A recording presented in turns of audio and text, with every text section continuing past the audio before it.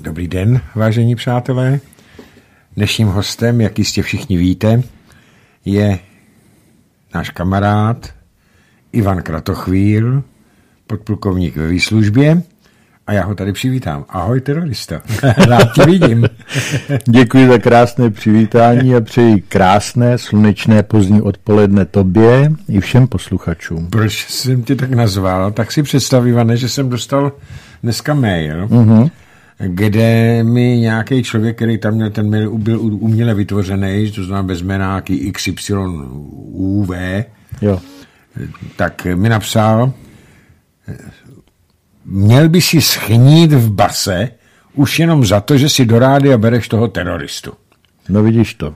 Tak teda ten člověk je totálně blbej, když to tak musím říct vošklivě, protože neví, že u nás je v právně zakotvená prezumce neviny. Ano, právně zakotvená, nicméně v reálném životě se tato prezumce neviny moc jako bohužel neuplatňuje. Ano, je to všechno podivné, protože, co si budeme povídat, eh, na ty, ty už si stíhaný rok, nedávno mi psal eh, Vladimír eh, Štádler, ano. že už je to rok a takže za prvé tě to muselo stát hrozný peníze, což to je, je svinárna, zase proto to dělají. A za druhý ne, ne, nevědějí na to původní obvinění, co na tebe, takže si vymýšlejí další a další, ano. další a další obvinění, jo. Takže mm, jak seš na tom psychicky, Vane? No, že by mi bylo zrovna do zpěvu do skoku, to není, nicméně všichni známe staré české pořekadlo, co tě nezlomí, to tě posílí. A já musím poděkovat všem lidem, kteří mě drží, ať už dárkama, úsměvama, podporou, i jenom tou lidskou podporou, protože je to strašně důležitý. Ano. Víš, ono, kdyby na tom, jak se říká, lidi mají svědomí a lidi mají i takový ten šestý vnitřní smysl. A kdyby všechna ta obvinění, která se mi teď skládají, už mám dvě, které byly už oficiálně podané, že jo, to už jsem nejenom terorista, ale i, i hajzl a já nevím co všechno, tak už jsem se dozvěděl, že i hospodářská kriminálka, sice nevím, co jako chce na mě hospodářská kriminálka najít, hmm. ale i už i z tohoto hlediska jdou po mně, takže jako ten tlak se zvyšuje a zvyšuje. A musím říct, že valná většina lidí, kteří mě znají, je pravda, že když tě občas někdo potká, řekne ti čau teroristo obejme tě, tak to vypadá blbě. On mi taky říkají i jinýma slovama, já je tady nechci prezentovat. Já bych, já bych to neřekl, kdyby mi to ten debil nenapsal. Ano, jo. tak jako jo, protože eh, lidé už si z tohoto dělají legraci. Jo? Ten záměr byl, protože to druhé obvinění, které jsem dostal, tak v podstatě během týdne bylo přes novinky a přes radiožurnál prezentováno jako koukněte si, co je tu na hajzla, mm, on je dokonce i morálně vadný a lidé, kteří jsou se mnou ve styku, tak se jenom chytají za hlavu a říkají, já jsem, jsem zvědavý, co na tebe vytáhnou po třetí, protože to, to, tohle není pravda, to není možný. Jo? No, Takže jest. ta reakce mezi lidma si myslím, aspoň to, co vidím já, je obrácená, nechtěli dosáhnout. No tak ono to je, ten psychický nátlak na mě je taky vyvíjený. Eh, vem si, že já jsem obviněn ano, z podpory genocidy i když my jsme v žádném tom pořadu ty Katyni neřekli proti genocidě ani slovo, ani slovo naopak, no. že jo, akorát, že jsme postavili eh, jedny fakta, která pravděpodobně rozvířil Goebbels, s tím, že to je ruská vina, jenom ruská vina, a na druhou stranu jsme postavili fakta, a t, která tomu eh, odporují. odporují. Ale jinak jsme žádný soud nevynášeli. Ano. A přesto jsem obviněný jako z genocidy, na pomáhání genocidy protože to je nový trestný čin. A z druhá policie, tohle to je přímo ta, ta ten, ten, ten protiteroristický, ten, to, jak oni tomu říkají. Centrála. No, NCOZ. No, no, no, no, no. A druhý potom, jdu den na to, co jdu k výslechu jako obviněn, tak jdu zase e, téma, jenom mi napsali Ukrajina, jo, policajti. Takže opravdu je to psychický nátlak, není to vůbec nic lehkého. A já musím, vážení přátelé, teďka říct, že jsem dostal od Sony vynadáno Zikmundovi, e, že pokud byste mi chtěli posílat na účet e, spolku, protože mě bude mm, advokáta platit spolek, protože jsem obžalovaný jako člen spolku Svobodné rádio, Nepište tam obhajova, pište tam jenom dar, prosím pěkně. Já to budu opakovat častěji, aby se to... Dar do toho... Vladimíra dar na obhajobu, ale slovo dar tam da, musí být. Dar a bez ty obhajoby dar, protože to bude potom... No co kdyby to byl dar pro Soniu, aby, aby si koupila flašku a zapila to? No Sonia nepije, bohužel. takže, takže to je jenom, to je naše prozba taková k tomu. A jinak děkuji všem, kteří jste už poslali peníze, nejenom mě, ale i přivezli Ivanovi, protože s Ivanem je to složitější, takže vy, kteří bydlíte blízko, tak e, naše adresa je uvedená na našich stránkách, tak pro Ivana můžete přivízt, protože už to stále. Já jsem byl e, úplně Ivane zhrozený, kolik si mi řekl, že za ten rok už je stálo to právní zastoupení, to je strašný. Já bych na to neměl. No, já jako důchodce bych na to neměl. Já na to taky nemám. Je to hrozný. Tak a teďka jdeme teda k tomu, e, Ivane, ty jsi byl těsně po tom druhém obvinění šíleným, tak jsi byl v takovém psychickém stavu, a nedivím se, že e, jsi měl nehodu. Tady Ivan, prosím vás, ne, nemáme televizi, Ivan tady sedí a má obvázanou hlavu, tak e, jak dlouho to tam ještě budeš mít? Už za 14 dní po té nehodě? Ještě tři neděle určitě. Takže jsi Doktor měl něco říká, horšího. No ono mě to skalpovalo. Hmm, hmm, hmm. Tam byl nějaký plech, který prostě hmm, mě hmm. skalpoval. Hmm. Pak mě co si udeřilo dozad, takže i dneska, když si chci zakašlat nebo to, tak, tak mě bolí levá plíce. Hmm, no a když si otvírám doma dveře, musím levou rukou, protože pravou ty dveře neotáhnu. Prostě ještě jsem omlácený jako, hmm, hmm, jako píšťalička. Nicméně radost ze života mám. Jasně, to je vidět, ale eh, tady je důležité, že jsi neměl nehodu s někým jiným autem. Zaplať ale, pámbu za to. Že jsi, že jsi zkrátka s, za volantem skolaboval. Vlastně. V podstatě ano. No. Jo, byl to den po tomu obvinění, takže dva, dva, dva, dva dny. No, můžu vám, vážení přátelé, říct, že teďka, jak se blíží ten termín mýho výslechu obviněného a eh, schánění právníka, protože už mi několik právníků které jsem oslovil, sdělilo, že do tohoto procesu nechtějí jít. Kdybych byl zloděj, kdybych byl násilník, kdybych byl Kdyby byl referendum, tak, tak by to vzali. No samozřejmě, protože to, to jsou slyšní lidi, rozumíš, ale no. politický prostě nikdo nechce, nechce brát. No, no právě. Takže mám už eh, dva dny v podstatě docela mm, nepříjemný problémy se žaludkem. Hmm. To je taky odraz to, toho, to, Ano, to, to, jsou nervy, psychity, to jsou nervy, jo? to je psychika. Takže jenomže i přesto nás neumečejí. Ono to nejde. Víš, eh, pokud přijde období, a to v našich dějinách přišlo už mnohokrát, kdy prostě ta zlovůle, nenávist dosáhla určité úrovně, tak nejednou v lidech se to zlomí, zepřou se a přestanou ustupovat. V podstatě už nás zahnali tak daleko do kouta, že prostě už není kam. Není kam uhnout. Jistě, už mě osobně je jedno, co se mnou provedou. Jo, ale teď se koukněme do našich dějin. Hmm, hmm. Jan Hus například. Ale další takový, co vůbec eh, tam to skončilo eh, bitvou na, na Ulipan, ale podívejme se na bitvy na, u Bílý hory, podívejme se na na rakousko-uherský, teda habsburský v podstatě diktát, co tady byl, tak eh, ty lidi, když už byli zahnaní do kouta, no tak se zvedli. Třeba sedláci u chlumce, co si budeme Že je potom vojsko rozstřílili, to je druhá věc. Ano. Ale lidi jsou, a teďka mi řekni, Ivane, v současné době se už Rusko přestalo dodávat od středy plyn do Polska. Polsko teďka si klidně, gerojové, jo, si klidně bere plyn z Německa, ovšem, že ten plyn teče do Německa z Ruska, to Polsku nevadí. Ano. Ne, to je, to je vidět, že bohužel ty elity jednotlivé, které v současné době v Evropě vládnou, nejsou elity svého národa. Nejsou pro lidi. Jsou to elity, které jsou dosazeny od někud, vytaženy od někud, ale ne, nejsou svázeny se svým hmm. národem, protože by nikdy něco takového nemohli dopustit. Množství plynu, množství ropy, který jde do Evropy, je pořád stejný. Přesto ceny už jsou hmm. o 50% vejš, nebo u plynu dokonce o 100% vejš. Hmm. Hmm. A není konec. Ale kdo to zaplatí? Zaplatí to normální lidi, protože je válka, protože... Ne, to není proto, že je válka. To množství plynu, který do Evropy jde a může jít, je pořád stejný. Objektivně nejsou... Rusové dodržují do smlouvy. Co, co tam je. Takže objektivně nejsou dané podmínky pro to, aby se zdržovalo.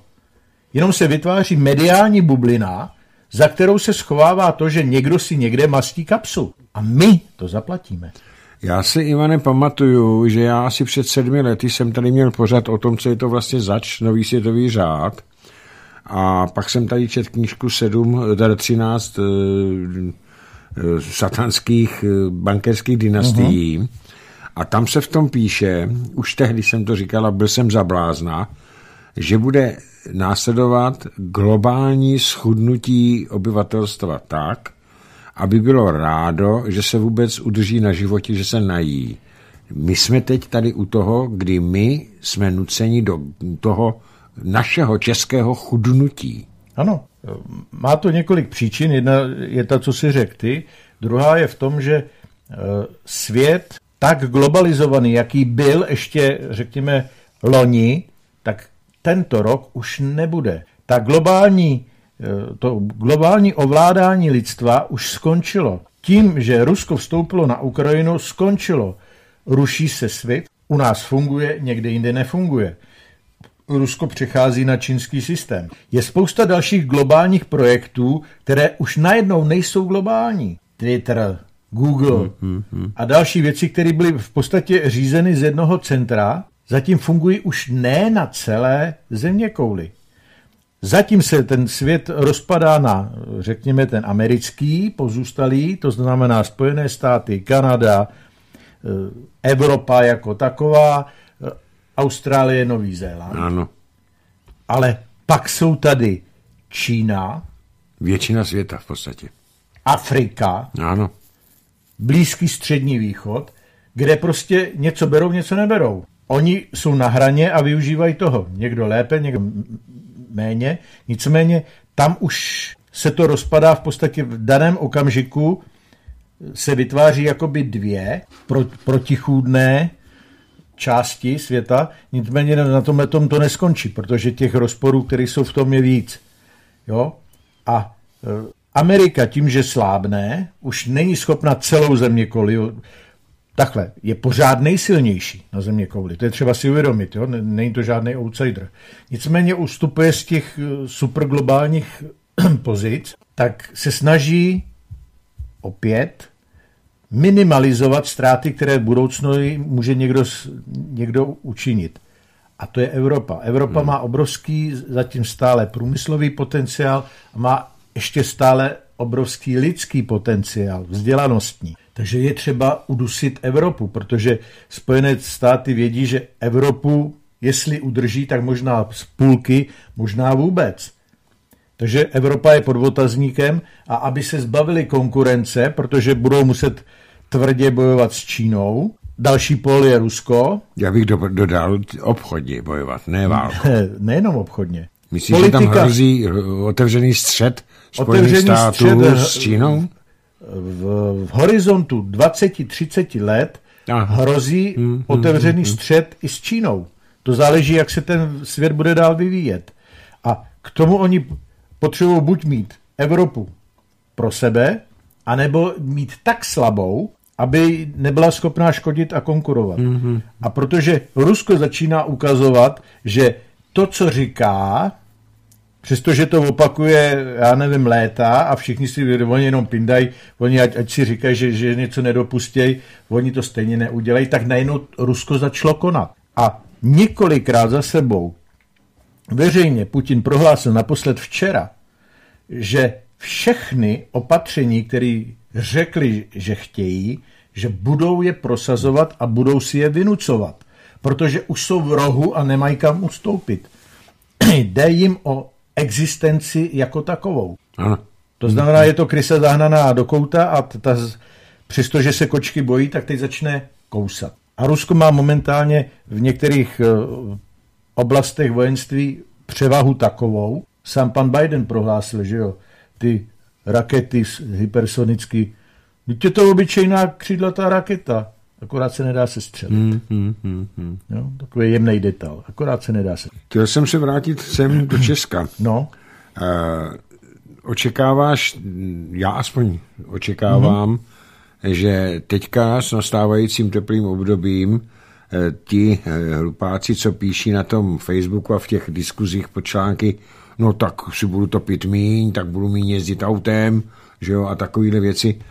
Eh, oni si neuvědomují, že by neměli do té práce kam jezdit, protože kdyby se tu totálně zavřel plyn a ropa z Ruské federace do Evropy, tedy i k nám, takže by skolaboval i náš průmysl? Ne, Evropský průmysl? Nejenom průmysl, ono by skolabovalo všechno. Skolabovalo všechno. Teď si vemte, že pekárny, chleba, který prostě vydrží tři dny, tak ty pekárny jedou z valné většiny na plyn. Ano. A když nebude plyn, tak nebude chleba. Budete jíst rozdrcenou mouku? Čím, čím, z čeho si uděláte? To, ano, domácí pekárně si um, upeču. Jo, ale domácí pekárna potřebuje elektriku. Ano, my máme elektriku, my dokonce vyvážíme elektriku. Ale jak je možné, že my, kteří vyvážíme elektriku, za pár šušňů si nakupujeme za šilený prachy na nějaké burze? A jsme zase u toho.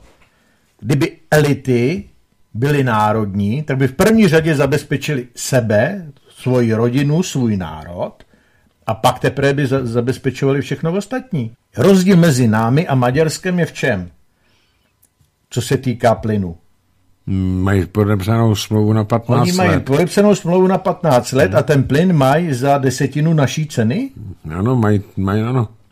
To znamená, že Nevím, jestli za desetinu, no, dobře, za, za já jsem čet, že tam kubík plynu stojí v Maďarsku asi 5,70 a u nás asi 16,50. No, tak dobře, tak čtyřikrát. No. Nicméně eh, rozdíl je jenom v tom, že tam je smlouva a my smlouvu nemáme že my to nakupujeme někde na nějaké burze, kde to někdo koupil. Mluvíme o plynu. O plynu. A to můžeme mluvit i o Evropě. Že to někdo koupil v Rusku, dovez to do Evropy a tady to rozprává nám, který nechceme s Ruskem mít nic společného. No, co, co, co je to za, za prostě... To jsou absolutně... Tohleto, kdyby někdo tímhletím způsobem řídil svoji rodinu, tak mu manželka vyškrábe oči, vyžene ho ven a nedá mu ani ty trenky. Protože to je, to je absolutně prostě, to je sebevražda ekonomická, to, co my děláme. Proč to děláme? Já jsem četl taky dva naše ekonomii na mainstreamu psali o tom, že v podstatě, kdyby se Česká republika totálně odřízla od ruských dodávek ropy a plynu, takže e, skolabuje průmysl, skolabuje celá republika, protože my v podstatě máme e, snad necelých 90% jsme eh, na těch dvou komoditách závislí, jo. A já si nevím představit, oni si ty lidi nevím představit, že třeba veškerý krematoria jedou na plyn. Uh-huh. Jak by se, a že těch, těch mrtvých je eh, každý rok 30 tisíc, to znamená, spočítejte si to na, na, na den, ty krematoria jedou, kde by se spalovaly, jak by, jak by se spalovaly ty mrtvoly. Nejenom krematoria, to, to jsou Máme provedenou v podstatě 90% plynofikaci velkých sídel. Ano, ano. Protože z hlediska ekologie je to to nej, nejrozumnější, co se dalo udělat. Ano. A teď zastavíme plyn. Tady ano, nejde oni... o to, že my, nám bude chladnějc. My zmrzneme v těch barákách. No jistě. A nejenom, ono se nejedná jenom o města, o, o činžáky, ale ono se v těch 90. letech dělal strašný nábor na to, aby si i lidi eh, na vesnicích a na městech eh, plynofikovali domy. Takže my dneska máme skoro 90% bytový plochy vytápěný plynem a jenom těch 10 nebo 12% je elektrikou. A teďka oni všude říkají, no tak se přejde tak se přejde z eh, plynového kotle na ten tepelný čerpadlo. No ale to potřebuje elektriku. Ano. A co když tady budou blackouty, co když tady e, nebude elektriky dost? Teď už v Německu v podstatě vypínali jeden čas nákladní dopravu, protože v síti nebyl dostatek proudu, protože ne, nesvítilo sluníčko, nefoukali e, z No, moře větry. Ono je to ještě horší, protože uh, ti foukne najednou vítr, tak, tak ti to zvedne napětí a začnou ti lítat pojistky. Hmm. Ne, přenosová síť není schopná tu, tu energii přenést, protože větrníky jsou hlavně u Baltického Ano, moře, ano, ano, ano. ale průmyslové ob, oblasti v Německu jsou porůvní porůří a Rakousko, protože se snaží být eh, papeštější než papež, tak má v podstatě je- jenom eh, na malých vodních tocích eh, elektrárny, kde jim to padá ze zhora z Alp a to je všechno. Ale to, to, to, to nedok- nedokáže zásobit ani Vídeň jako takovou. Takže to je prostě, tohle je ekonomická sebevražda Evropy. A to, že nejsou slyšet hlasy lidí, kteří tomu rozumí, znamená jednoznačně, že je to politický záměr, který má nás přivést do chudoby. Do chudoby, protože v okamžiku, kdy lidi přijdou na to, že nejsou schopni platit ubytování, nejsou plat, schopni platit hypotéky, nejsou schop, nebudou schopni chodit do práce, konec konců ani ta práce nebude. Vem si, že za poslední, co se to zdražilo, to je měsíc a půl, co vylítly ty ceny plynu a Oni se zdražují neustále, je firma od firmy se zdražuje neustále, takže, jo, ale ten- ale zhruba před půl druhým měsícem, před ano. půl druhým měsícem to vylezlo. Hmm. Tak vláda se tekon rozhodla, že rodinám s dětmi přidá pětistovku. Jednorázově. Je, nevím, jestli jednorázově nebo na furt, ale to je jedno. Ne, já- I já kdyby, nevím. I, kdy, I kdyby to bylo každý měsíc. Hmm, rodinám s dětmi pěti kilo. Ale ta rodina s dětmi jenom na těch energiích byla připravená o 2 až 2,5 tisíce korun. Si to spočítejte, o kolik to vylezlo nahoru. To Ano. je, to, je, to, je, to je dobrý kšeft, jako sebrat lidem 2000 a dát jim 5 kilo, aby, aby, aby mlčeli. Mm, Ono tady největší problém, já jsem to nedořekl prvé, jak to vidíš na podzim? Jestliže opravdu se odstřihneme, jak tady vy- vyhlašuje pořád ta pětikolka, uh-huh. že se musíme odstřihnout, teď se naposledy jsem to četl od Lipavského, že se musíme odstřihnout od ruských eh, energií, každopádně, nebudeme podporovat Putina, tak eh, jak, z čeho, Ivane, já si nevím představit, z čeho budeme zásobovat ten plyn. Pan Jurečka prohlásil, když nebudeme brát ruský plyn, no tak budeme vyrábět uh, plyn z biomasy od uh, hovězího dobytka. Bože, To další řekl pan, biomasa. Jur, to řek pan, pan Jurečka, že budeme vyprávět ten bioplyn bude vyrábět. My, kteří máme, máme, náš stát má eh, totálně zničený chod, chov dobytka, jatečně zví- zvířat, ať prasat nebo, nebo krav, tak z čeho by to chtěl dělat? To A on tohle to řekl pan Jurečka, prosím. No, to je... Už tady jednou jedna biomasa byla, že jo? Ano, ano, ano, ano. To je prostě... No, vraťme se k tomu plynu, jo? No, Do Evropy jde turecký pokot, do Evropy jde uh, Nord Stream 1, což jsou linky, které jedou, jestli mám dobré informace, jsou vytížený na 100%. a to je z Ruska. No samozřejmě, hmm. jeden, jedna i druhá větev Ano, jde z ano. Ruska.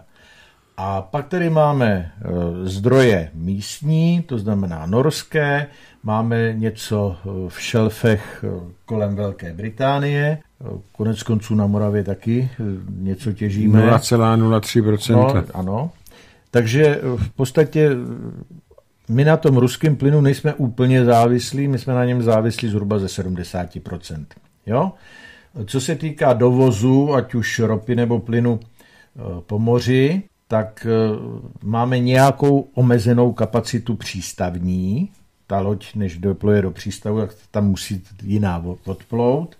Takže tam se to navyšovat taky moc nedá. Navíc tam nejsou postaveny ty zásobníky na to eh, z- skapalněný plyn, aby se znova splinovatěl a po, po rourách poslal. No, To není postavený. To není, to je, to je potřeba další infrastruktura. Mm. Další věc, o které se nemluví, je, že veškeré zpracovatelské fabriky, které jsou na území Evropy, jsou postaveny na ruskou ropu. takže pokud sem dovezeme jinou než ruskou ropu, tak se ta fabrika musí zavřít a předělávat systém, ano. Takže to taky trvá nějaký měsíc. Nehledě na to, když už jsme se bavili o té lodní přepravě, tak eh, to, co jde reálně loďmi do Evropy, tak je zase ze 60% z Ruska, protože eh, ne všechno jde trubkama. Takže pokud se bude chtít někdo odstřihnout úplně od eh, dodávek z Ruska, tak to udělat může, ale v tom případě si najděte vhodnou jiskyni s tekoucí vodou a připravte si louče, protože vám nic jiného nezbyde. Pokud chceme si zachovat aspoň takovou životní úroveň, jakou, jakou s takou tady máme, tak to prostě bez ruských surovin nejde. Já jsem, Ivane, četl kde si, že je ohrožen tím zákazem dovozu ruských surovin. Tady se nejedná jenom o plyn a o ropu, ale i o nerostné e, suroviny. No. Tak, e, že je ohrožen výrob, ohrožena výroba mobilních telefonů. Uh-huh. Protože tam se těží nějaký, nějaký, nějaký kov nebo něco, bez čeho se ten telefon neobejde a ten se těží jenom v Rusku. Jako Rusko Já nevím, celou... co to bylo za kov, ale četl jsem, že je, že je ohrožený ne, ne, výroba nevím, telefonu. Nevím, který, který z těch kovů tam je. Každopádně mobily jedou na litiové baterky, to máme problém litia, že jo. E, ale Rusko má celou Mendelejovou tabulku, mm, takže mm, Rusko má, rádo dá a dodá. Nicméně veškeré e, tyhle ty takzvané ekonomické sance, které strašně poškozují Rusko, tak e, já bych to řekl asi takhle. Vem si, že ti bude vyvěrat pramen, tady ropnej, na tvý zahrádce. A jeden soused řekne, hele, ty mi dáš tři kyble každý den, dám ti za to tohle, druhý soused řekne, já, mi stačí dva kyble a tamhle, no, dobrý. A teď ten, co bere ty tři kýble, najednou řekne, a já se o tebe nic nevemu a tebe to poškodí, protože nedostaneš ode mě prachy. Tak co uděláš? Nabídnu to dalšímu. Tak. To je jo? přesně to, Takže co se stalo. To je přesně to, co se stalo. Ano, my jsme poškodili Rusko v tom, že bohužel Rusko musí zvednout zadek a domluvit se s někým jiným, kam to dát. Už se domluvá s Čínou, Indií. Ano. A natáhne tam trubku. Mm-hmm. Takže ta škoda, která bude způsobena Rusku, je to, že ho donutíme konečně natáhnout trubku do Indie. Tady totiž hrozí ještě jedna věc, a to si taky málo kdo jako uvědomuje mám teďka na mysli ty sankce. Asi před 10-12 lety Rusko dováželo dováželo obilí, eh, aby bylo, mělo dostatek chleba, tak dováželo pečiva, tak dováželo obilí z Kanady převážně. Zhruba před těma 10-12 lety začaly ty první rozmíšky. Kanada jim to hm, sankcionovala, přestala jim dovážet. No takže Rusko se okamžitě obrátilo, začalo osívat větší plochy dneska patří mezi největší, ne mezi, on je největším vývozcem obilí na světě, uh-huh. Rusko. Na druhém místě byla Ukrajina. Ano. Zatímco Rusko dováže, dodávalo veškerou svou produkci do Afriky, tak eh, my jsme sem dováželi, že už my dávno nejsme e, soběstační v obilí, tak jako jsme vyváželi ještě obilí dříve, tak jsme dováželi z Ukrajiny. Zeptám se tě, Ivane, Máš nějaké informace, jestli se vůbec na té Ukrajině oselo tím obilím? Jestli vůbec nějaké to ukrajinské obilí, které chodilo k nám, jestli vůbec bude? Já to nevím. Pro nás v podstatě nebude. Z jednoho jednoduchého důvodu, protože eh, operace dneska probíhají na východě a jeho východě Ukrajiny takže tam se momentálně nějak moc osívat nedá, protože tam jezdí tanky, no, no, takže no. tam se tyhle ty agrotechnické lhuty pravděpodobně, uh, jak se to řekne slušně, no, nestihnou. Ano, děkuji. Co se týká zbytku Ukrajiny, tam by to šlo. Nicméně z Ukrajiny je udělaný vojenský tábor, kde všechno se cpe do armády, do armády, do armády, lidi se odvádějí do armády, ať chceš nebo nechceš, tak se mobilizuje všema možnýma způsobama. Eh, Ukrajinci utíkají do Ruska nebo do Evropy, aby nemuseli narukovat. To je to takzvané hlasování nohama. Takže eh, ta kapacita Ukrajiny, co se týká pěstování obilí, bude výrazně nižší. Nehledě na to, že eh, zhruba, nechci malovat čerta na zeď, ale zhruba odhaduju červen, červenec, budou stát ruská vojska na podkarpatské Rusy a kolem Lvova. Takže i kdybychom, kdyby tam se něco osilo, tak se o tom budeme potom už domlouvat ne se spojenými státy, jestli můžeme si vzít obilí z Ukrajiny, ale s Ruskem, jestli si můžeme vzít obilí z Ukrajiny. Takže eh, tenhle ten zdroj je pod velkým otazníkem, spíš s ním nepočítat. Mm-hmm. Když už jsme o tom pěstování obilí, mě třeba zarazilo, když jsem byl na Sibiři, že eh, republika Sacha, což je Jakutsko, Jakutia, mm-hmm. to je Jakutsk, hlavní město, je jediné milionové město, které je na trvale zmrzlé půdě.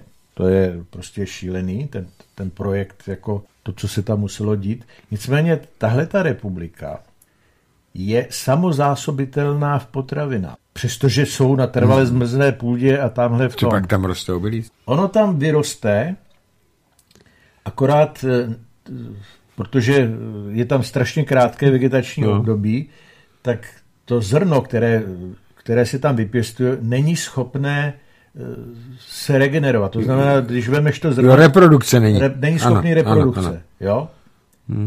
Takže oni dělají to, že v těch nejjižnějších částech pěstují obilí na osiv na příští ano, rok. Tam, kde je teplejš. Tam, kde je teplejš, kde, kde to mm-hmm. prostě normálně ujde. A to, co musí uzrát za ty dva, tři měsíce tom bahně, který se roztopilo nad, nad, nad permafrostem, hmm.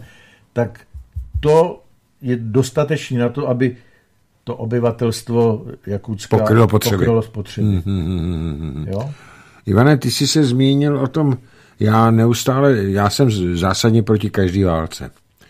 Já jako mladý kluk a jako, jako chlap, já jsem neměl rád vojáky, mm-hmm. protože já jsem říkal, vojáci jsou cvičení k tomu, aby zabíjeli jiné lidi. A...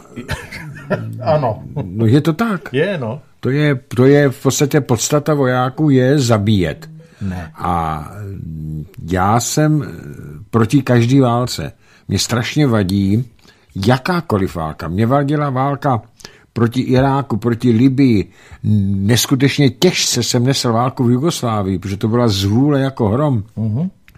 Strašně špatně nesu válku na té Ukrajině, protože co se dočítám z jedné i z druhé strany, protože jedna i druhá strana e, dezinformují, jak se dneska moderně říká, já tomu říkám lžou, a propagandu dělají, tak e, každopádně je fakt, že tam ty, ty, ty nevinný lidi, lidi, lidi tam umírají. Ano.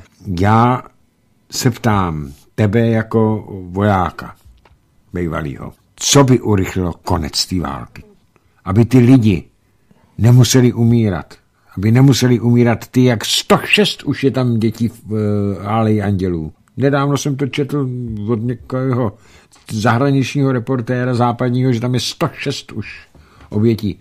Jak dlouho, co dělat, aby to skončilo a jak, proč to furt pokračuje? Eh, chceš-li zničit Rusko, musíš z něho sebrat Ukrajinu a poštvat proti zbytku Ruska. Toto, Což se stalo? Toto už prohlásil von Clausewitz. Mm, mm, ano, Clausewitz. To je sto a pár let zpátky. Ano. Takže nic nového pod sluncem. Eh, tím nejschovanějším a nejzákladnějším důvodem, proč je válka, je, že zabíjejí Rusové Rusy. Ukrajinci v podstatě jsou Rusové. Před 150 lety na Ukrajině nebyl žádný Ukrajinec. Byli tam Rusové, byli tam Litevci, byli tam Židé, byli tam Poláci, byla tam česká menšina a všichni byli žijící na Ukrajině, proto se jim říkalo Ukrajinci. Národ jako Ukrajina nikdy neexistoval. To je projekt, který se vytvářel přes 100 let a dneska se dospěl do konečné fáze. A bohužel posledních 20-30 let je Ukrajincům vtloukáno do hlavy to, co bylo vtloukáno do hlavy vzdělanému kulturnímu národu německému, že jsou nad lidi, že jsou něco víc než ty ostatní, že to, co je zakázáno jiným, jim je dovoleno. Oni jsou ty lepší. Hmm. Tahle ta indoktrinace, to je, to je to, o čem se bavíme, o té denacifikaci. Hmm, hmm, hmm. To je tam třeba pro, probrat. Protože eh, národovec, člověk, který miluje svůj národ, tak samozřejmě upřednostňuje svoji rodinu, upřednostňuje svůj národ, nicméně respektuje příslušníka druhého národa, že má ty samá práva, že je to správné. Já miluju Česko, miluju Československo, jsem Čech, vážím si dějin zemí koruny české, jsem na ně hrdý a udělám všechno pro to, aby se na tyto krásné okamžiky tohoto národa nezapomnělo a pokud bude v mých silách, tak přidat k tomu kladné e, skutky vlastní. Ale to samé přeju Němcům, to samé přeju Španělům, to samé přeju Rusům, to samé přeju Angličanům, ale ne na úkor jiných národů. Hmm. Ano. Takže e, smyslem té války je, aby se co nejvíc pobíjelo Rusů na obou stranách. Protože oni mají stejnou kulturu, oni mají stejný jazyk. Největší sranda je, že mají stejné zbraně. Mají aspoň, stejné zbraně, aspoň ty klasické. I, i, i stejné uniformy, takže hmm. musí mít pásky na rukou, aby ano. se poznali, kdo patří na kterou hmm, stranu. Hmm, hmm. A jedni, řekněme, respektují to, že, že, že ty na té druhé straně jsou v podstatě stejný a ty druhý naopak to nerespektují a snaží se to hmm. Všemi silami dát najevo. Bohužel. Já jsem si četl eh, takový názor nějakého amerického eh, bývalého generála, který tvrdil, že ta válka eh, v Rusku, oni to třeba OSN to nenazývá válkou, protože nebyla vyhlášena ani jednou stranou válka, tak je to ano. konflikt. Tak aby ten konflikt co nejdíl trval, protože tím, že bude trvat co nejdíl, tak se Rusko natolik zeslabí, že se zhroutí vnitřně.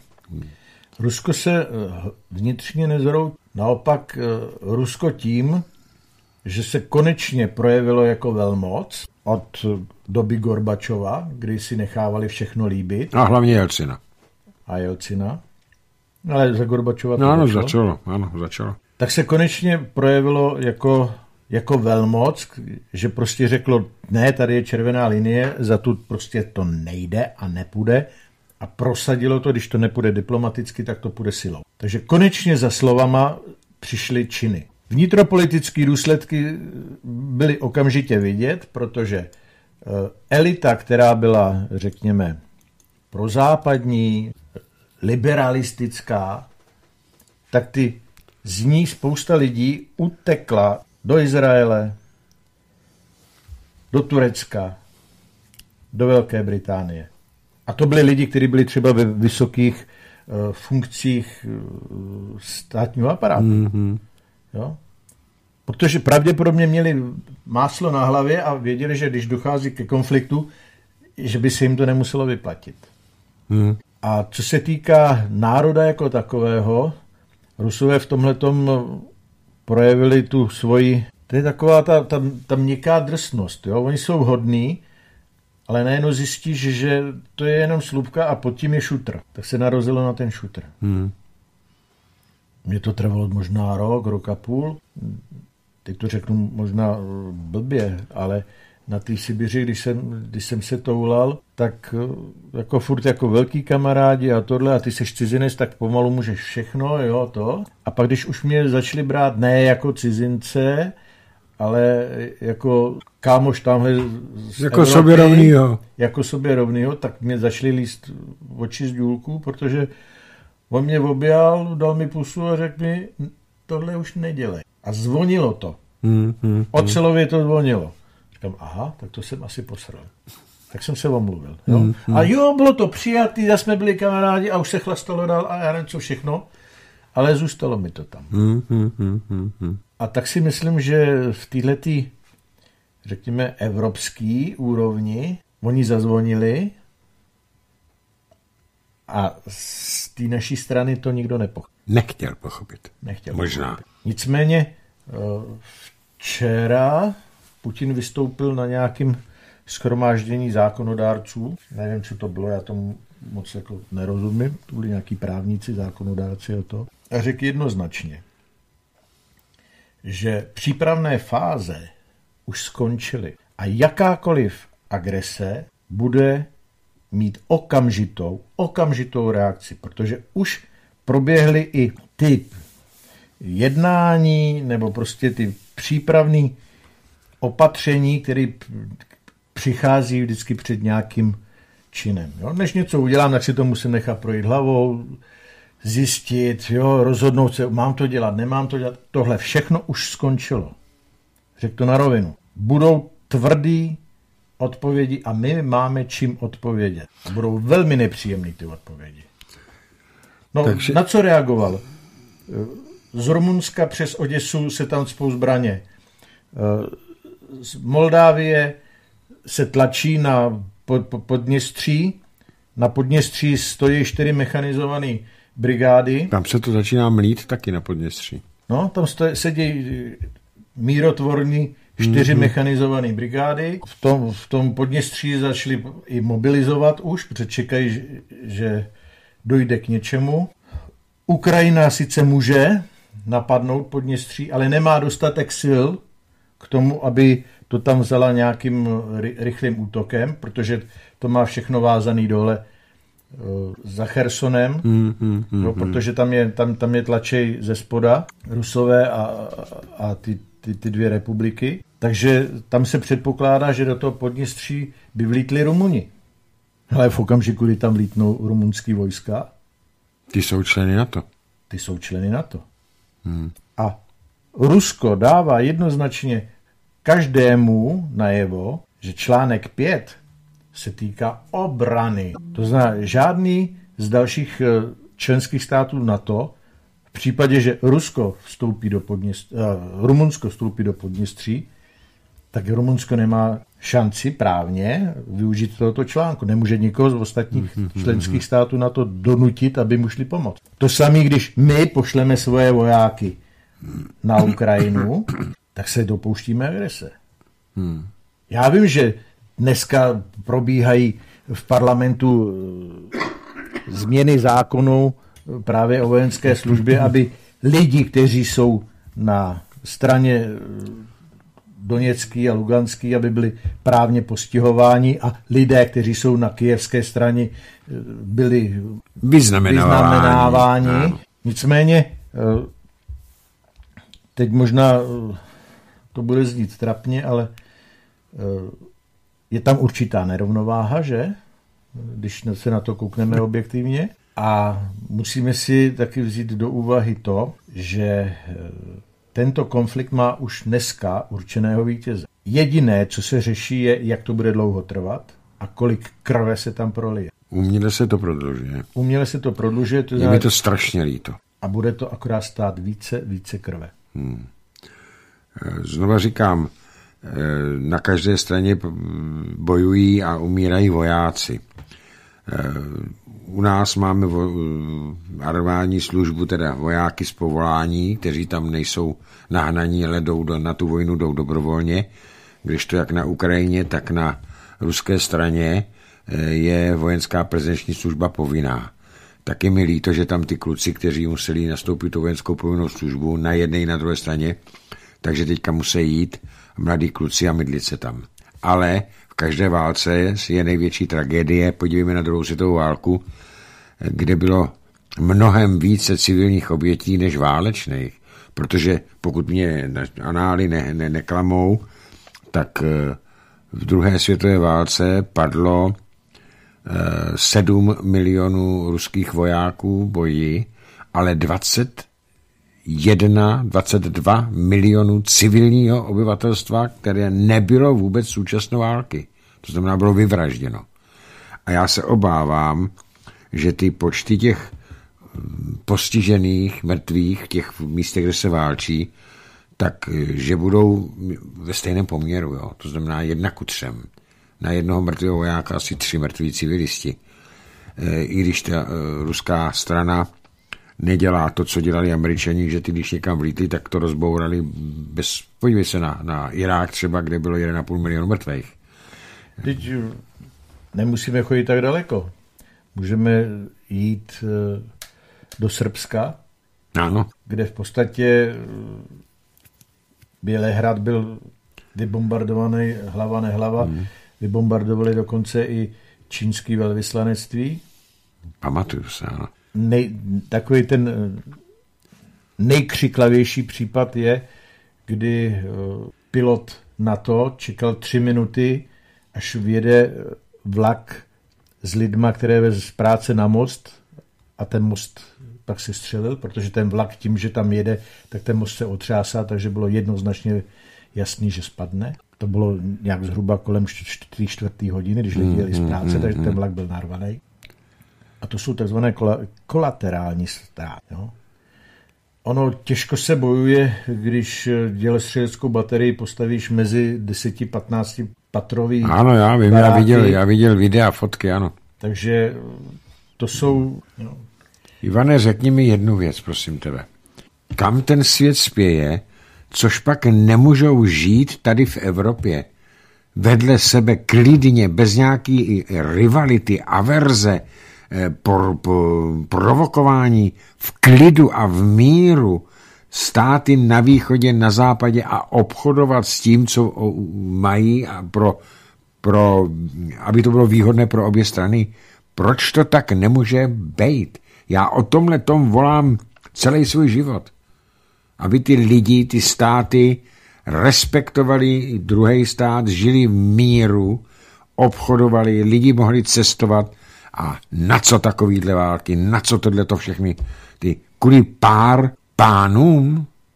A teď si odpověď. Tak je máme vyházet z oken. No jo, ale musíš vyházet ty správný. A ty, kteří to organizují, to nejsou ti, kteří jsou ve zprávách, kteří tam stojí u těch pultíků. Ne. Jsou ti, kteří rozhodují o tom, kdo u toho pultíku Ani nevíme, kdo to je. Ani nevíme, kdo to hmm. je. Přesně tak. Je to tragédie. Já se totiž, a teďka eh, máme do 10 minut, tak to ještě stihneme. Ivane, ty jsi zkušený voják, ty, ty v tom máš mnohem víc, eh, jsi mnohem víc bělý, já jsem laik.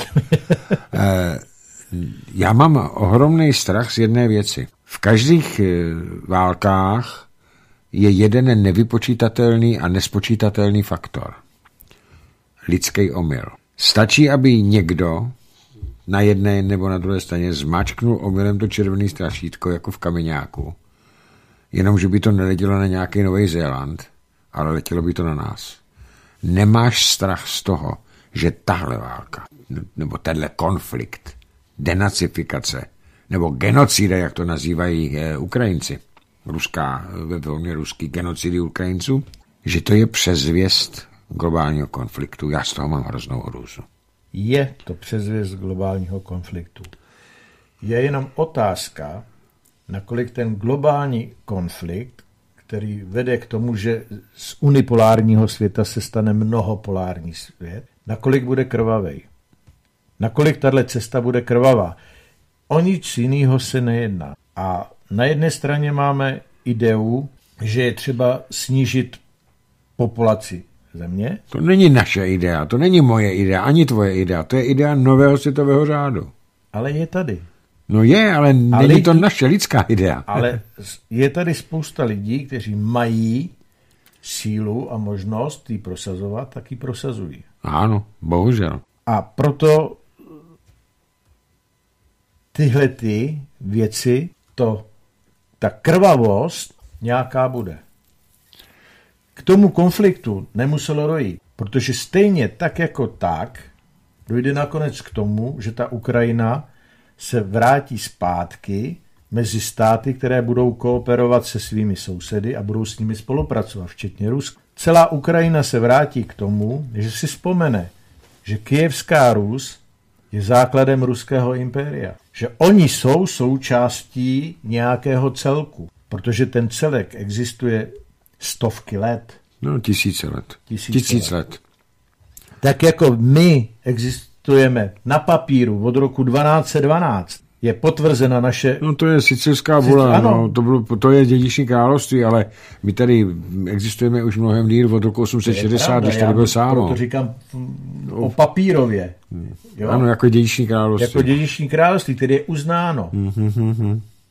Tak i oni mají tyhle ty své prvky, ale oni ty prvky mají v ruské historii My je máme ve své české mm-hmm. historii. Je to jenom prostě se podívat pravdě do očí. O nic jiného nejde. Ty jsi mluvil o tom, že bude záležet na tom, jak bude krvavý. Já si pamatuju, že eh, když eh, ruská strana, jak eh, Lavrov, tak Putin apelovali na svět, aby zamezil genocidu doněckých a luhanských lidí, že tam byli vymlacovány, ano. Že tam, jestli se bojovalo, tak ta druhá strana zabíjela vojáky, ale ty vojáci ukrajinští zabíjeli civilisty a děti. Tak e, nikdo neslyšel. Pak bylo vyhrožováno válkou Rusku a Putin i Lavrov řekli, že si nedovedou představit, hlavně to řekl Putin tohle, nedovedu si představit svět bez Ruska. Ano. Kdyby vypukla jaderná válka, Rusko přestane existovat. Ale přestane existovat i svět. Ano. Tak ty si říkal, ten konflikt, že bude krvavý. Já si myslím, že by byl totálně krvavý, protože by byl jaderný teď. Záleží, kam až to zaženou. Záleží, kam až to zaženou. A záleží to, co můžeme udělat my, každý z nás, mluvit o tom nahlas, že to nechceme. No, kdo by chtěl, aby jsme se vypařili v nějakém jaderném výbuchu? Já teda určitě ne. No, Nicméně ta možnost tady je. A protože jsou síly, které nevěří, že Rusko k tomu letom, tak se snaží to Rusko zničit. Místo, aby respektovali to, že tady je, že tady existuje. Kdyby měl býval Hitler na konci druhé světové války jadernou zbraň, taky použije. Taky použije stejně, jako ji použili Spojené státy na Hirošimu a Nagasaki. Ano. Tam to nebyla nutnost. To chtěli ukončit trvání války. Hitler by ji použil pro sebezáchovu. Každý stát by to použil. A já z toho právě z tohohle toho provokování, já z toho mám strašlivý strach. Protože si nikdo nedovede z těch idiotů, co tady říkají, že by vybombardovali hmm, Rusko. A nebo představ si, že byla nějaká tisková konference a e, tam seděl Rakušán a seděli tam nějaký další lidi a nějaká holka, podle hlasu to bylo nějaký ucho, se ptalo, jestli se konečně nenajde někdo, kdo by zavraždil Putina. A oni tam říkali, a já jsem byl z toho totálně konsternovaný, že by se takový člověk měl najít. Něco v tom smyslu. Na tiskové konferenci, kde tam seděli mě neznámí lidi, mám to tady na videu, ale byl tam i Vít Rakuša. Ivane, umí si představit, že by někdo tady říkal nahlas, že by se měl zavraždit v rámci uklídění světového míru nějaký prezident z jiné země, velké země za mořem. Bohužel v dějinách k tomu dochází. Co to je za lidi? Otázka je, jestli jsou to vůbec ještě lidi.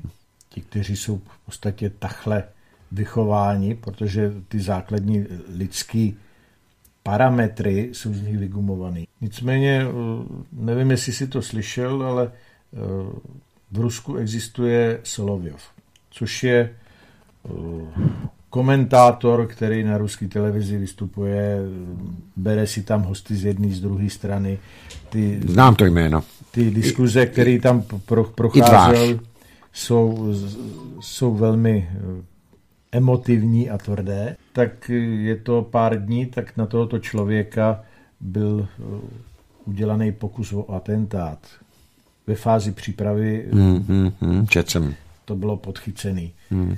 Takže nejde jenom o to, že někdo o tom mluví, on, někdo se o to i snaží.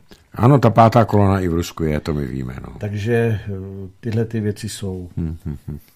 Ale je to hrozný. Je to hrozný, ale já bych tu první hodinu, už se nám to, to zakončil trošku pozitivně. Eh, tohle to jsou všechny, všechno zkoušky který vlastně ukazují nebo vytváří možnost, aby se objevilo v každém to lepší já, které v něm je, aby se každý projevil, jaký je. A víš, eh, put sebezáchovy je základní, eh, řekněme, program, podle kterého fungujeme. Nicméně člověk, který je člověkem, tak ví, že pokud bude konat dobro, takže, jak říkal Jan Hus, kdo život za pravdu položí, získá život věčný. A žít chceme všichni. Ale když na to přijde, budu rád tak jako Přemysl Otakar II, Jan Hus, Jan Žižka a spousta dalších lidí budu rád žít v myslích svých potomků a svého národa. A budeš tam rád žít v pozitivním smyslu. Vážení přátelé, to byla první hodina s Ivanem Kratochvílem a e, na Ivanovo přání on má rád jednu písničku s názvem Žít, ale nespívá to Karel Gott tentokrát, ale zpívá to nějaký ruský zpěvák. Několik. Nebo několik, takže my tu písničku teďka pro Ivana Kratochvíla pouštíme. Máme po přestávce, my s Ivanem Kratochvílem zase sedíme tady ve studiu spolu a já tě tady, Ivánku, ještě jednou vítám. Ahoj. Ahoj a ještě jednou dobrý večer všem. Tak, vážení přátelé, protože tady máme už od vás přehršel eh, SMSek, tak já začnu tou první, která přišla a bude na to Ivan reagovat. Eh, moc vás zdravím, pane Kapale, ale to není ona, to je včerejší, včerejší. Dnešní je tato. Dobrý večer, pánové, máte naši plnou podporu. S mužem jsme bez zbytku na vaší straně. Finančně pomůžeme, držte se. Oba, Věra a Jiří z Kutné hory. Takže Děkujeme strašně moc do Kutné hory. Moc oběma, jak Věře, tak Jiřímu, protože věřte tomu, že to oba dva potřebujeme. Není to nic příjemného, co si budeme povídat. No, není, no. Tak jdeme na další. Dobrý večer, ozvěte se, až budete moci. Mám pro vás pár informací k advokaci vašeho případu. Podepsán Dvořák. A teďka nevím, pane Dvořáku, jestli se mám ozvat já nebo Ivan Kratochvil, protože máme oba dva několik případů na krku. Jo, protože mm, já nevím, Ivane, jak ty, ale já jedu toho pátýho do toho Brandejsa a oni mi ani neda, ne, nedali, nenapsali, proč mě tam vede k, k výslechu, jenom napsali Ukrajina. No a to buď rád, že ti tam napsali aspoň Ukrajina. Mě tam napsali jako důvod vaše trestná činnost. Rovnou. Ro, vaše trestná činnost, to bylo jako udání důvodu. Podání jo? vysvětlení, prvotní? Ne, na, na, to, na to druhý uh, trestní oznámení. Jo, mm-hmm. absolutně v rozporu s trestním řádem, prostě ano. už nedodržují ani ty nejzákladnější věci, které by se dodržovaly. To je, je, to, je to neskutečné. No. Takže, zdravím pánové. Dnes jsem četl na parlamentních listech poradce premiéra, že nám Putin nemůže zastavit plyn, protože ho odebíráme z Německa a ty nás neodpojí. Jaký na to má to názor? Děkuji. Vysvětlíme. Ivane, mluv, potom něco k tomu řeknu já. Ano. My jsme to v podstatě řekli v první hodině. Do Evropy, když pomineme trubky, které vedou přes Ukrajinu, tak je trubka, která vede přes Bělorusko a Polsko, pak je trubka, která vede přes Baltské moře, napřímo do Německa, a pak je trubka, ten takzvaný turecký pochod, který jde přes Černý moře Turecko do jižních evropských států. Všechny tyto trubky vedou z Ruska. Takže pokud pan Putin se rozhodne, že se kohouty zavřou, tak se kohouty zavřou.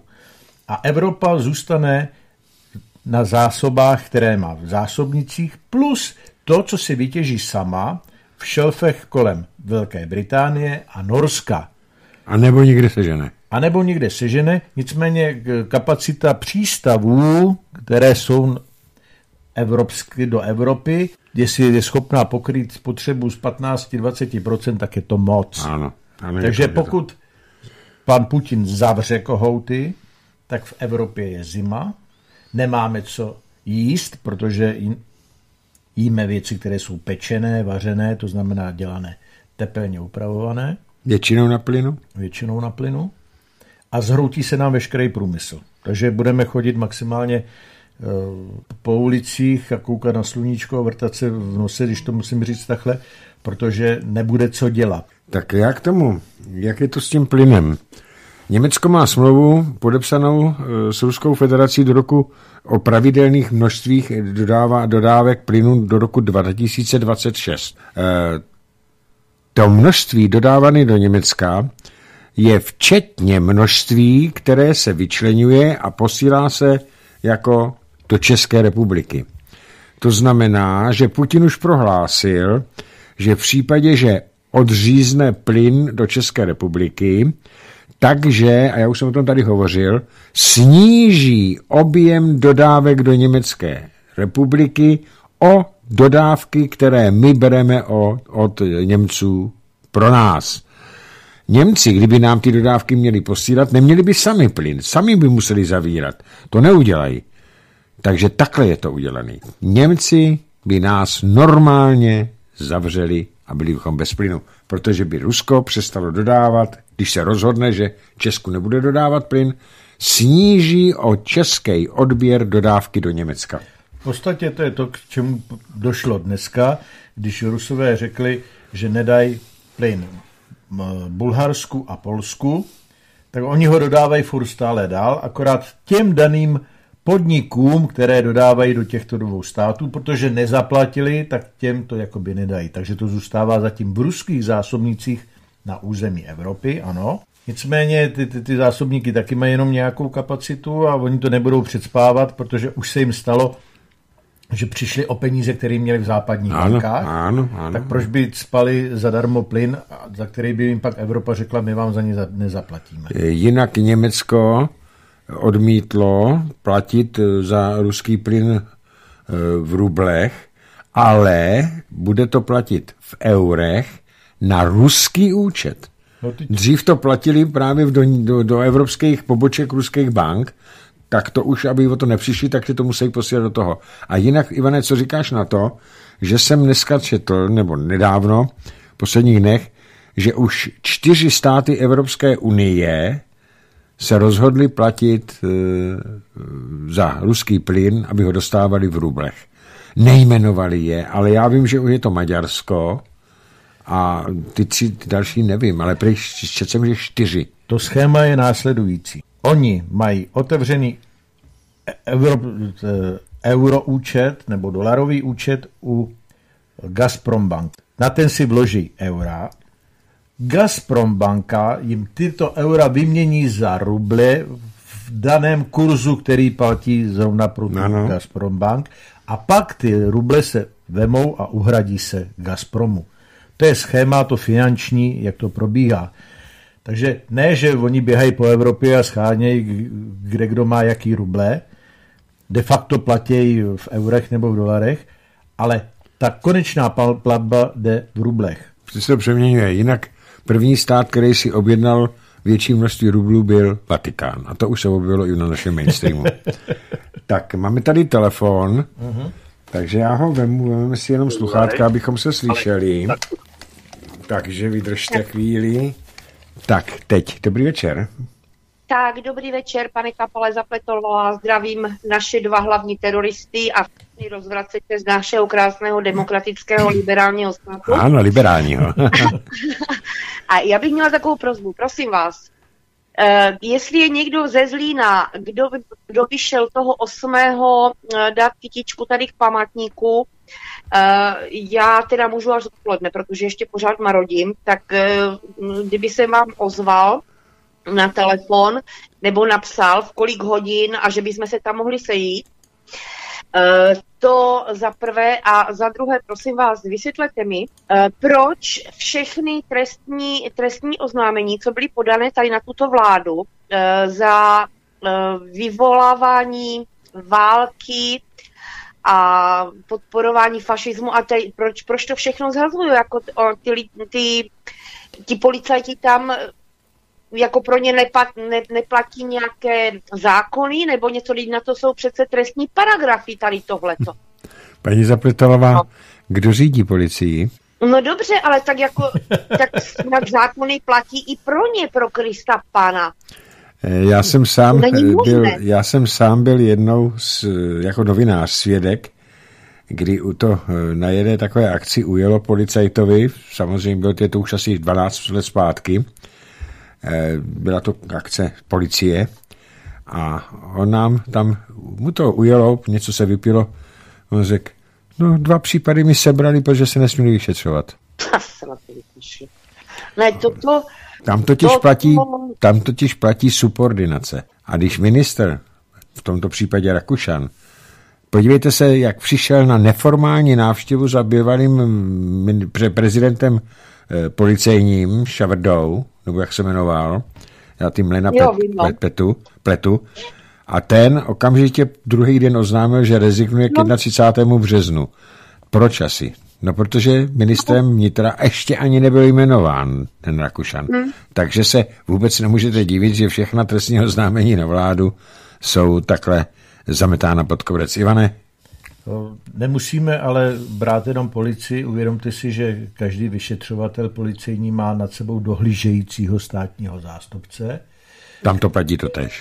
A státní zástupce je osoba, která je v podstatě mimo zákon. Ano, nepostižitelná. Nepostižitelná, jo. Takže hmm. tam můžeme sice řešit nějakou nějaký zneužití eh, veřejného činitele, nicméně k tomu musí být v první řadě politická vůle. Hmm, hmm.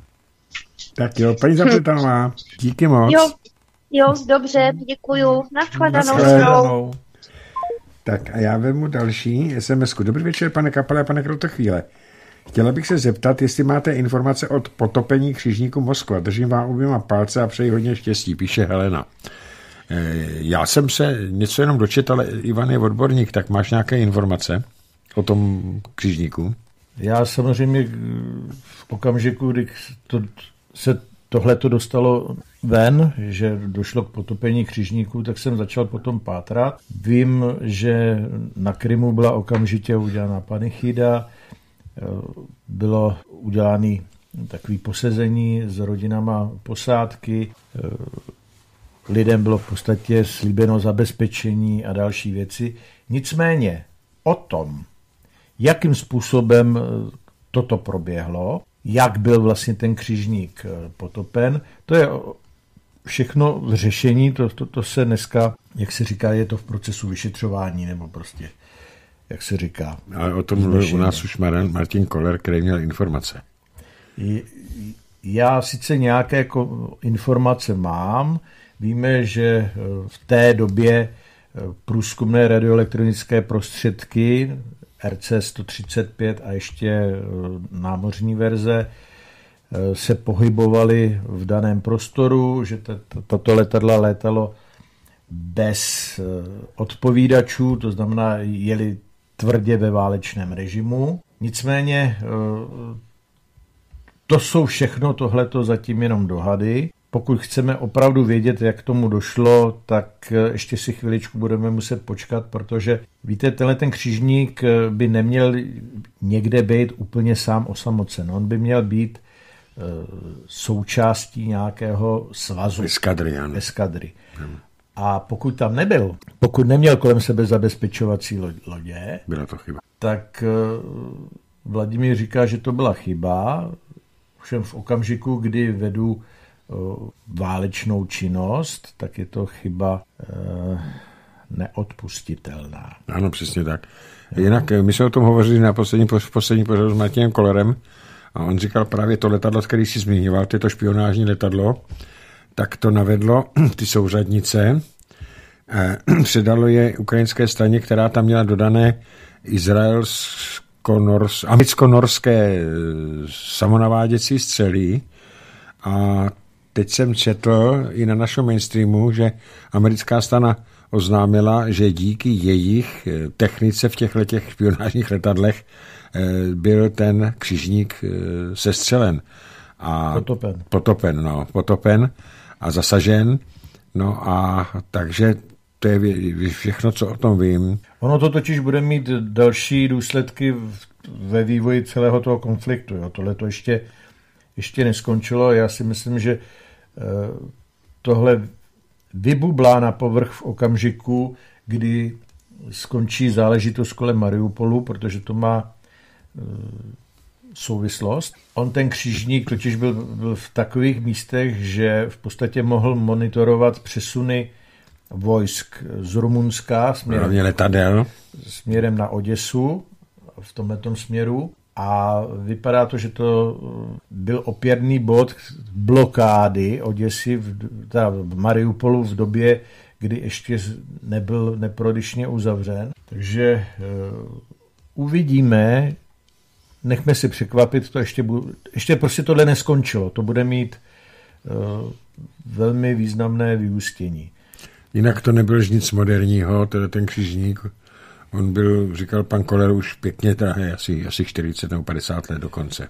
Ale oni ty, ty, tak, tyhle ty necky se průběžně modernizují. Ano, to jo. To... jo. A každopádně ten křižník byl nádherný, já jsem ho viděl na Já ho viděl taky na fotce, byl krásný, ano. Já ho viděl na vlastní oči na kotvách, jako Sice mě na polubu nepustili jako cizince. Jo, tak já ho viděl na fotkách tady jenom, na internetu. Ale jako, no je to symbol. Je tam, to, tam, ano, šlo, tam ano, šlo ano. především o to, že je to symbol. Symbol, přesně tak.